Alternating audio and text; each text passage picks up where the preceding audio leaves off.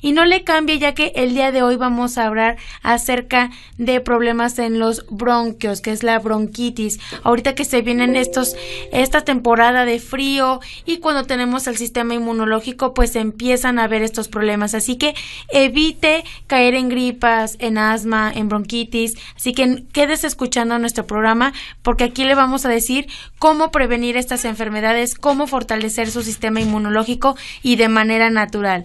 Y bueno, pues vamos a pasar a saludar también al equipo Herbol que estamos listos en cabina para empezar nuestro tema de esta noche. Hola, ¿qué tal? Muy buenas noches, Karen, ¿cómo estás? Hola, ¿qué tal? Muy buenas noches, muy contenta de poder estar con ustedes en este programa y así es, el día de hoy hablaremos sobre la bronquitis, qué es, cuáles son las causas, cuáles son los síntomas, bueno, pues no se lo vaya a perder, así que vaya por un papel, vaya por una pluma para que anote toda la información que teníamos el día de hoy, pero sobre todo que anote cómo podemos evitar esta enfermedad o bien cómo podemos curarla, cómo podemos sentirnos muy mucho mejor porque precisamente para eso es este programa, para que ustedes aprendan un poquito más de cómo alimentarnos correctamente, de qué alimentos nos sirven y qué alimentos son los que nos dañan. Y pues también invitarlos a que nos visiten. Estamos en la calle Manuel Doblado. El número es el 107 calle Manuel Doblado, número 107, en la zona centro de León, Guanajuato. Es muy fácil llegar si usted viene por el Boulevard Adolfo López Mateos. Hay que buscar la calle Libertad, hay que dar vuelta en esa calle y dos cuadras adelante se convierte en la Manuel Doblado. Nuestros horarios de atención son de lunes a viernes de 9 de la mañana a 7 de la tarde en un horario corrido y los sábados de 9 de la mañana a 2 de la tarde. El número telefónico del consultorio es el 713 04 91. Se lo repito, 713 0491. Ahí nos pueden marcar para dejarnos sus preguntas si quieren saber el costo de la consulta o no saben cómo llegar. Bueno, pues nosotros le podemos ayudar. Y bueno, pues también ya vamos a pasar a saludar al experto en naturismo y nutrición. Hola, ¿qué tal? Buenas noches, Alejandro, ¿cómo está? Hola, ¿qué tal Karen? ¿Qué tal Lupita? Amigos del auditorio, qué bueno que nos acompañan en un programa más de naturismo. Y llámenos el teléfono en cabina, estamos en vivo transmitiendo desde León, Guanajuato. El teléfono en cabina para que nos haga llegar sus preguntas es el 717-0142. 717-0142. Así es, y bueno, vamos a dar eh, comienzo a nuestro tema de esta noche que es acerca de la bronquitis. Bueno, ¿qué es la bronquitis? Pues es la hinchazón e inflamación de las vías respiratorias, que son las principales que llevan aire hacia los pulmones.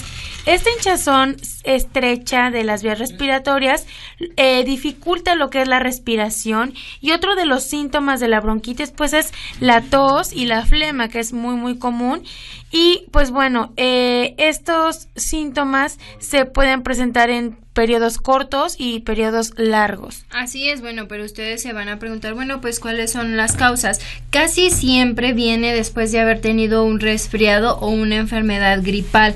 La infección de, de los bronquios o, bien la bronquitis es causada por un virus.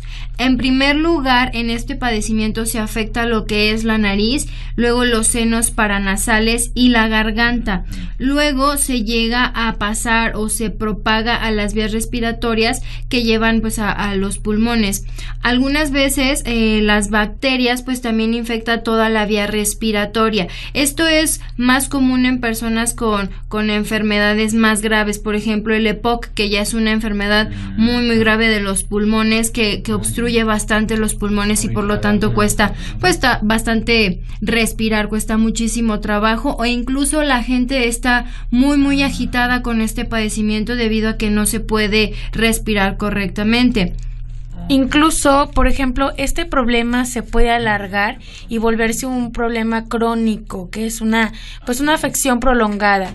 Eh, para hacer el diagnóstico, pues de una bronquitis crónica, pues bueno, tiene que tener una tos con mucha flema y por ejemplo hay personas que lo tienen por dos tres meses. Entonces ya es algo crónico. Normalmente cuando es un virus cuando es una bacteria aguda pues sí nos da tos nos da flema este pero en, al cabo de dos tres semanas se puede quitar o hasta menos. Ahora los síntomas por ejemplo pues alguno de los síntomas, la eh, molestia en el pecho, el dolor, pues por tanta tos que tenemos empieza a ver ya también esta, esta molestia. Así es, también hay una tos que produce flema e incluso la, la, la flema puede ser transparente o de color amarillenta, incluso hasta verde. Esto ya quiere decir que, bueno, efectivamente hay un virus en nuestros bronquios, en nuestros pulmones, que dificultan la respiración. La fatiga es otro también es, eh, síntoma, porque, bueno, también se nos, eh, se nos disminuye nuestro sistema inmunológico, bajan las defensas, empieza a haber una pérdida, por ejemplo, de apetito. Entonces, bueno, es muy común que cuando tengamos este problema empiece, empecemos a fatigarnos. Además de que, bueno, al momento de no respirar adecuadamente, pues obviamente no tenemos el oxígeno adecuado y por lo tanto, pues todos nuestros órganos empiezan a debilitarse un poco y a consecuencia puede haber fiebre, el aumento de la temperatura. Entonces, si usted tiene alguno de estos síntomas, pues es importante que nos chequemos o que estemos al pendiente de, de nuestros bronquios, de nuestros pulmones, para poder hacer algo al respecto y podernos curar.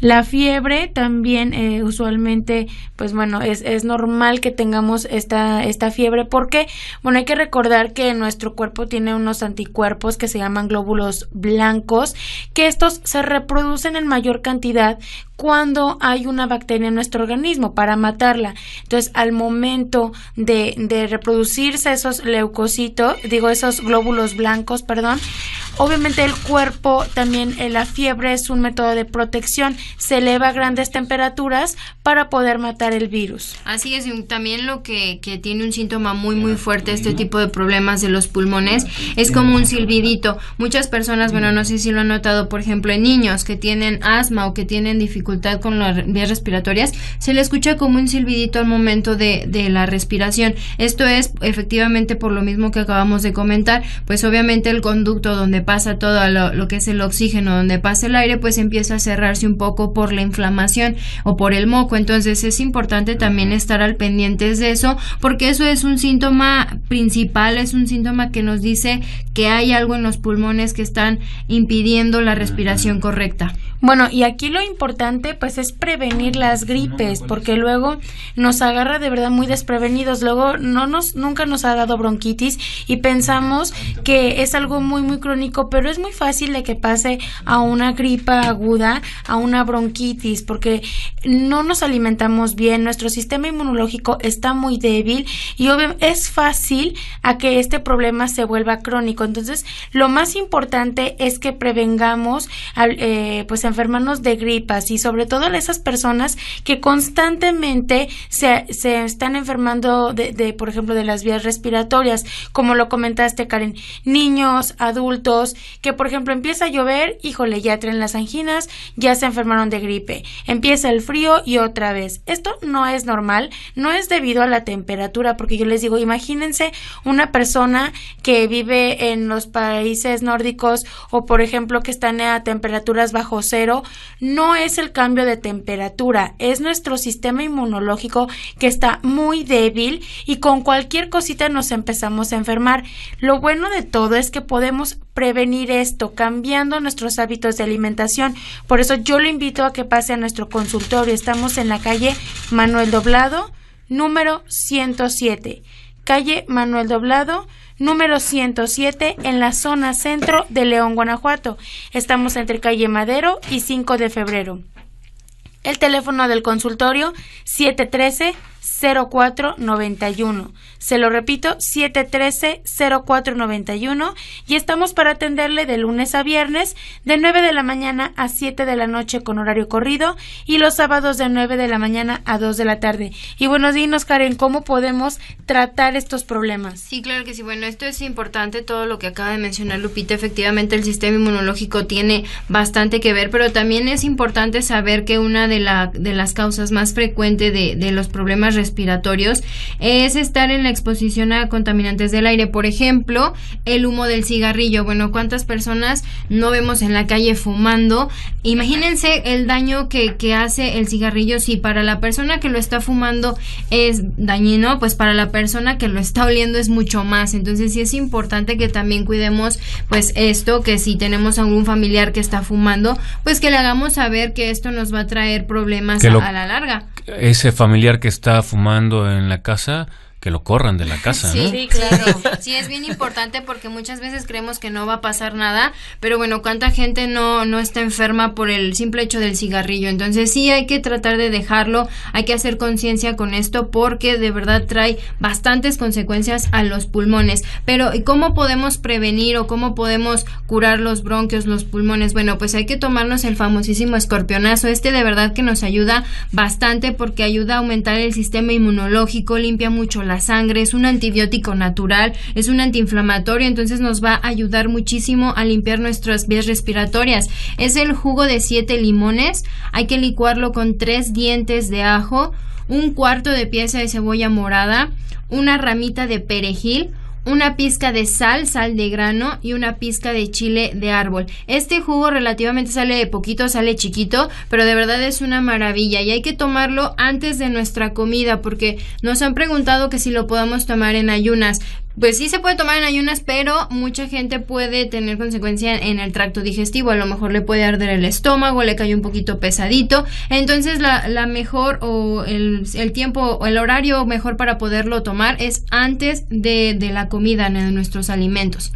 Y también, por ejemplo, otra recomendación muy importante es que quiten los lácteos. Los lácteos generan mucha mucosidad nos llevan niñitos de verdad de un año, dos años, que ya tienen estos problemas. Pues fíjense, es más alarmante cómo es posible que un niño tenga estos problemas tan crónicos y es porque desafortunadamente pues les empezamos a dar a tempranas edades la leche de fórmula. La leche de fórmula no es adecuada para nuestros pequeños. La leche de fórmula es adecuada para un becerro porque está hecha con leche de vaca.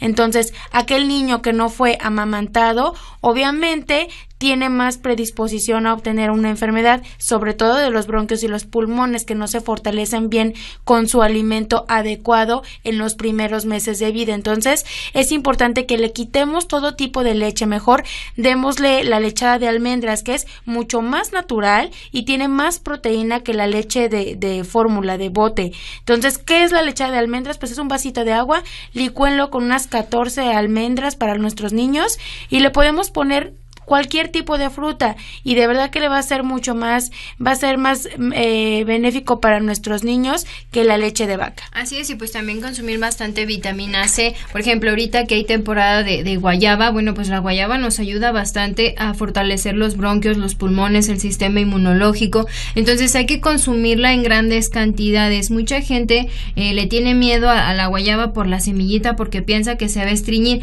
Hablábamos en la semana pasada de la guayaba que es total lo contrario, va a ayudar a mejorar muchísimo nuestra digestión, pero sobre todo a limpiar bronquios y pulmones, así que hay que consumir la guayaba, hay que consumir jugo de naranja, le podemos licuar esta, esta guayaba y ponerle miel, miel de abeja pura para que nos ayude a expectorar un poquito más, a limpiar más los bronquios. Mira, Karen, tenemos una pregunta del público. Es Esther, tiene una nieta de un año, tres meses, que le da faringitis muy seguido. Le han puesto inyecciones, pero se sigue enfermando.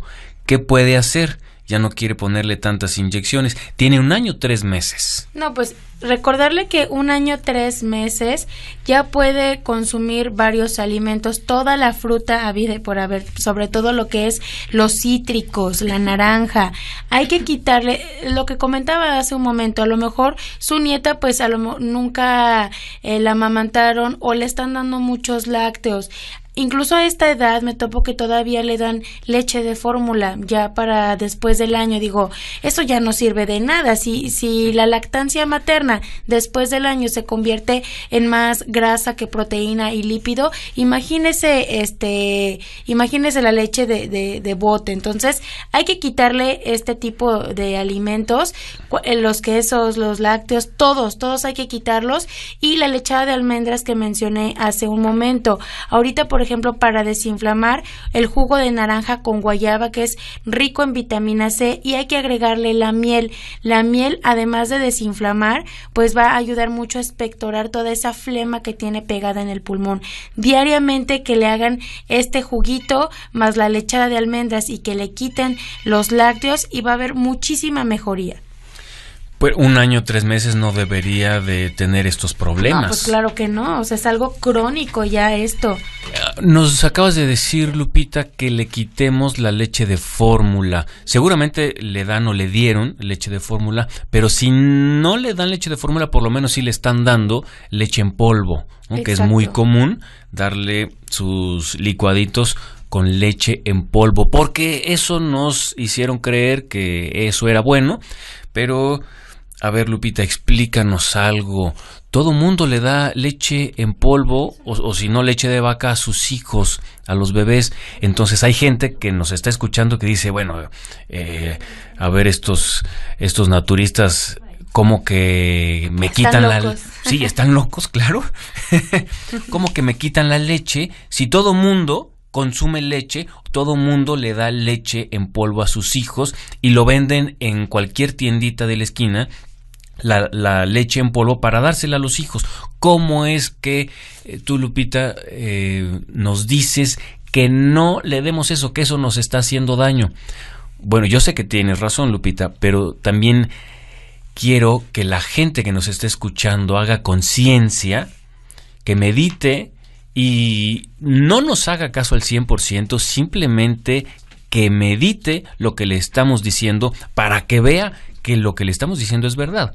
También, o sea, entiendo que todo mundo consume leche en polvo, pero también vea a los niños y la mayoría tiene mocos. La mayoría se enferma.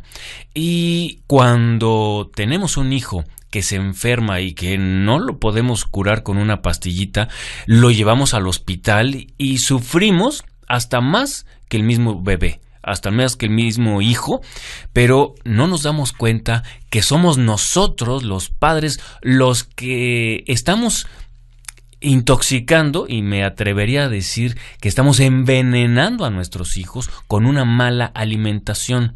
Porque mire, cuando nos llevan esos mismos bebés a consulta, y les cambiamos un poco la alimentación y les damos fruta y verdura, no les damos cosas del otro mundo, simplemente les damos cosas naturales, les damos fruta, les damos guayaba, le damos naranja, le damos sandía, o sea, cosas totalmente naturales. También le quitamos la, la leche, que es la que le está causando en un en, una mayor parte en un mayor en un como en un 80% lo que el, lo, el causante de su de su mucosidad, de su, mucosidad. exactamente. Entonces cuando vemos ese cambio le quitamos la, la mala alimentación le damos jugos eh, que le aumentan el sistema inmunológico que le limpian los pulmones vemos un cambio impresionante y bueno, ahí es cuando nos damos cuenta lo poderoso que puede llegar a ser el naturismo, o sea, una, una buena alimentación. Entonces, como le decía hace rato, no nos haga caso al 100%, pero sí medítelo, haga la prueba, no va a perder nada y va a ver que le va a ir mucho mejor y sus hijos no se van a enfermar y va mm, pues va a tener una familia mucho más sana. Y es que llegan al consultorio y en verdad que somos, bueno, ya estamos acostumbrados a ser la última opción, ¿verdad? Ya después de tantos piquetes, de tanto antibiótico. Nos dejan hasta el último, pero, pero, pero como es tan poderoso, tan hermoso el naturismo, que aún así, aunque nos dejen hasta el último junto con el brujo, Exacto. ya después de nosotros ya es el brujo que le haga una limpia porque ya no saben ni qué hacer. Bueno, es tan poderoso el naturismo que aún en esos casos puede con la enfermedad. Exacto, entonces llegan al último y pero yo les digo a las mamás porque tienen un cierto miedo a decir, ese cómo le voy a quitar la leche si es lo que cena, si es lo que desayuna mi, mi niño o mi niña. Entonces, bueno, se atreven a quitarlo, yo les digo, hagan la prueba 15 días. En 15 días, si no se mejora, le vuelves a dar lo que es la leche, pero si se mejora, se la quitas de por vida pero todas las mamás en verdad ven una mejora. Dicen, ya no tosió tanto, ya no tiene tanta flema, ya este, ya no le dio fiebre, ya se siente mucho mejor. Incluso mm, eh, mi niño está subiendo de peso, ya se le ve otro semblante, pero es porque le quitamos los alimentos que no nos están ayudando, no nos favorecen a tener una salud óptima. Claro, ahora, hay hay bebés, hay niños que a pesar de que le dan leche en polvo, a pesar de que le dan leche de vaca, pues están más o menos sanos, ¿no? Pero eso no quiere decir que la leche de fórmula sea un alimento eh, óptimo para el niño. Hay, hay mucho mejores alimentos, como les estamos diciendo, la lechada de almendras, el jugo de naranja con guayaba, esos sí son alimentos que, que no le pueden hacer daño, que le van a aumentar el sistema inmunológico, que son muy sabrosos, que es totalmente natural y bueno, simplemente la leche en polvo tiene debe de llevar conservador, simplemente eso. Bueno, tenemos más preguntas del público. Sí. Marisela, Marcelina, tengo una hija con gastritis y anemia. ¿Qué puedo hacer? Bueno, para la gastritis pues hay que dejar todo lo que son las harinas refinadas, hay que dejar también lo que sean todas todas las azúcares, eso lo que hace nada más es más acidez en el estómago, así como las carnes, incluso las de pollo y pescado, porque creemos que estas son buenas o que estas nos aportan más nutrientes y es totalmente lo contrario, entonces hay que dejar este tipo de, de alimentos. Ahí en el consultorio tenemos un tónico, el tónico digestivo, que ayuda bastante a que el tracto digestivo esté trabajando correctamente. Este hay que tomarlo en un jugo de zanahoria con apio, perejil y media papa cruda para que quite toda la acidez y se quite esa pues esa sensación de ardor en, en, la boca del estómago. Y para la anemia, esto es también importante porque muchas veces creemos que la carne pues nos ayuda para la anemia, pero es completamente al revés. Entonces hay que dejar esta, este tipo de alimentos y consumir más leguminosas, por ejemplo los frijoles, las lentejas, habas, garbanzos, todas las verduras verdes tienen muchísimo hierro y nos ayudan bastante pues a que se quite la, anemia, pero también pues invitarlos a que, a que cambien sus hábitos de alimentación, que nos visiten para dar un tratamiento mucho más completo para que se le pueda quitar esa anemia, se le pueda quitar esa gastritis, pasen al consultorio, estamos en la calle Manuel Doblado, el número es el 107 calle Manuel Doblado número 107 en la zona centro de León, Guanajuato.